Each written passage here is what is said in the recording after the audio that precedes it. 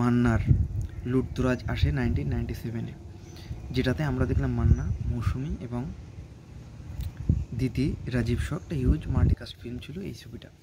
তো এই ছবিতে আসলে কে মূল নায়িকা এবং কে সাইড নায়িকা, আজকে এই টপিক্সের উপর বেস করে আমি কথা বলব যে আসলে কার গুরুত্ব বেশি ছিল মান্নার, লুটতুরাজে মৌসুমি নাকি দ্বিতীয় এটা নিয়ে আমি কিছু কথা বলব। এখানে গানটা নিয়েও অনেক আলোচনা করা হবে। ভিডিওটি খুবই স্পেশাল হতে যাচ্ছে। ভিডিওটি স্টার্ট করার আগে আপনাদের কাছে ছোট্ট একটা অনুরোধ। আপনারা যদি ফিল্ম স্পাই চ্যানেলটিতে নতুন হয়ে থাকেন, তো ডেফিনেটলি সাবস্ক্রাইব করবেন বেল আইকনে ক্লিক করবেন লাইক করবেন শেয়ার করবেন অ্যান্ড কমেন্টস করে জানিয়ে দেবেন আপনাদের মূল্যবান মতামতটি আমি ওয়েটিং ফর কমেন্টে দেখা হচ্ছে নেক্সট কোনো ভিডিওতে সব সবাই ফিল্ম স্পাইয়ের সঙ্গে থাকবেন।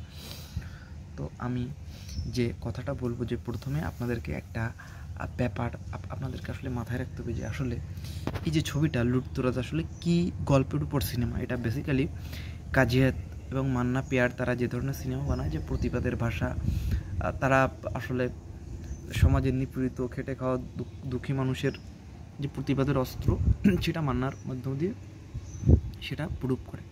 কিন্তু এই গল্পে দেখা গেল যে একটু ভিন্নতা মান্না। অনেকটা মৌসুমীর পক্ষে হয়ে রাজীবের বিরুদ্ধে লড়লেন। সেখানে ভালোবাসার একটা ফিলোসফি একটা লাভ, একটা আত্মার একটা কানেকশন কাজ করে গেল। অলরেডি মান্না দিদির কাছে কমিটেড এবং শুরুতে যেরকম ভাবা হচ্ছে, সিনেমাটা দেখলে বুঝবেন যে মান্নার হিরোইন দিতি। মান্না দিতি খুব রোমান্টিক তাদের ভিতর একটা মান্না প্রতিবাদী দিদির বাবা অসামাজিক কার্যকলাপে লিপ্ত। দিদি তার বাবাকে পছন্দ করে না, মান্নার সঙ্গে তার প্রেম। এইভাবে টান টান উত্তেজনা পূর্ণ দিক দিয়ে সিনেমা একদিকে এগোয়, অন্যদিকে তাদের রোমান্টিক কেমিস্ট্রি জোরে জমে ক্ষীর। কখনো গান আসে, তুমি নাই, আমি নাই, তুমি আছো, সব আছে। সারা পৃথিবীর প্রেম, ভালোবাসা তোমারই মাঝে পেলাম। হ্যাঁ? তো এইরকম শিরোনামের গান কখনো কিন্তু এসে কিন্তু আমাদের কিন্তু বেশ চমকপ্রদ একটা ভার্সেটাইল একটা ব্যাপার কিন্তু ক্রিয়েট করে দিল। তো এরপরে আমরা যদি দেখি যে, মান্না যখন রাজীবের ডেরায় গেল, রাজীবের সঙ্গে একটা ঘাত সংঘাত, একটা ব্যাপার, তার ক্রিয়েট কাজ করল, তখন মৌসুমীর সঙ্গে মান্নার একটা কম্বিনেশন ক্রিয়েট হলো। তখন কিন্তু তাদের মনে মনে একজন আরেকজনের প্রতি দুর্বলতা থাকলেও কিন্তু তাদের প্রেমটা হয়নি। কিন্তু পরবর্তীতে আমরা দেখলাম যে একটা টাইমে তাদের ভালোবাসায় মোড় দিল এবং দিতির একটা বিয়োগ আমরা দেখলাম, দিতি মারা গেল। এবং তখন কিন্তু তাদের কিন্তু একটা প্রেম কিন্তু একটা ক্রিয়েট হয়ে গিয়েছে, তাদের কিন্তু একটা লাভ হয়ে গিয়েছে। তো এখন আপনি হয়তো বলবেন যে, এই ছবিতে আসলে কোন নায়িকা আসলে বেশি গেতে দেখেন, গানের জনপ্রিয়তা যদি আপনি ধরেন, তো ডেফিনেটলি অনন্ত প্রেম তুমি দাও আমাকে। এই গানের জনপ্রিয়তার আশেপাশেও কিন্তু তুমি নাই, আমি নাই, এই গানটা কিন্তু ছিল না।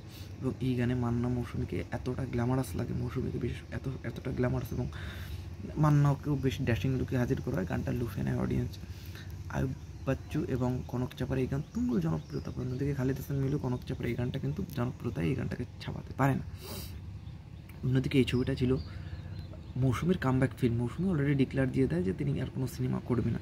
সেখানে মান্না যেভাবে কনভিন্স করে মৌসুমিকে এই সিনেমা মাথায় আনে। তো এটা নিয়েও কিন্তু তখন মিডিয়াতে একটা হই হুল্লোর কারণটা একটা রই রই, একটা ব্যাপার যে এই ছবির মধ্যে দিয়ে কামব্যাক হচ্ছে এটা কী হতে যাচ্ছে, এটা নিয়ে কিন্তু অডিয়েন্সদের একটা আবেগ, উদ্দীপনা কিন্তু একটা নেক্সট লেভেলের ছিল। তো সেইভাবেই কিন্তু এই ছবিটা কিন্তু বেসিক্যালি কিন্তু সেভাবেই কিন্তু আসে।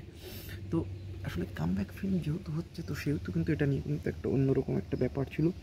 যেহেতু এটা একটা কামব্যাক ফিল্ম তো কামব্যাকের পরপরই আমরা দেখলাম কিন্তু বেসিক্যালি একটা মানে অডিয়েন্সের রীতিমতো পাগল হয়ে গেলো এই সিনেমাতে।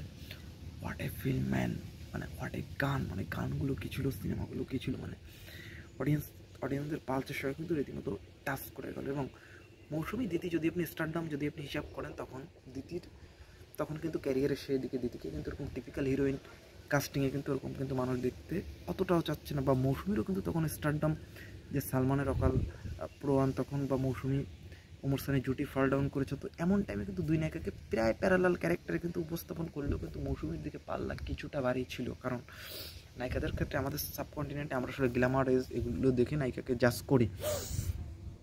তো এবং দিদির সঙ্গে মান্নারের আগে কয়েকটা সিনেমা বিক্ষিপ্তভাবে করলেও কিন্তু ওরকম হাইপ ক্রিয়েট হয় না। কিন্তু এটা ছিল মান্নার প্রোডাকশনের সিনেমা এবং মৌসুমিকে সেই রকম গ্ল্যামারাসভাবে কিন্তু একটা নাসনে অলির চরিত্রে একটা বাইজি, একটা গ্ল্যামারাস ক্যারেক্টার এতভাবে হাইট হাইপ ক্রিয়েট করা হয়তো আমার মনে হয় ওই ক্যারেক্টারটা স্ট্রং ছিল এবং মৌসুমির ক্যারেক্টারটা যতটা স্ট্রং ছিল এই সিনেমাতে আমার মনে হয় না দিদির ক্যারেক্টারটা ততটা স্ট্রং ছিল। হ্যাঁ দুজন তার তার জায়গায় স্ট্রং বাট আপনি যদি অডিয়েন্সদের কাছে যদি আপনি জিজ্ঞাসা করেন বা আপনি একজন নিউট্রাল অডিয়েন্স হিসেবে আমার যদি মনে হয় যে মৌসুমীর ক্যারেক্টারটা স্ট্রং ছিল এবং ওইটা অডিয়েন্সের পালচে টাচ করে গিয়েছে যে রাজীবের যে বাসুমিয়ার আজ থেকে তুই বল যে বাসুমিয়ার যাত্রা দলে তোর জন্ম হয়ে আছে, এখানেই মৃত্যু তো যে ব্যাপারগুলো ছিল, আমার মনে হয় যে মৌসুমির দিকে পাল্লা কিছুটা হলো আসলে ভারী থাকবে। এখন যার যার পয়েন্ট অফ ভিউ যার যার ফিলোসফি যারা দিতির ফ্যান আছেন, তারা দিতিকে এগিয়ে রাখবেন, যারা মৌসুমির ফ্যান তো একজন মৌসুমি বা একজন দিতিকে এগিয়ে বা পিছিয়ে রাখার জন্য একটা লুটতরা সিনেমা দিয়ে জাজ করা যাবে না।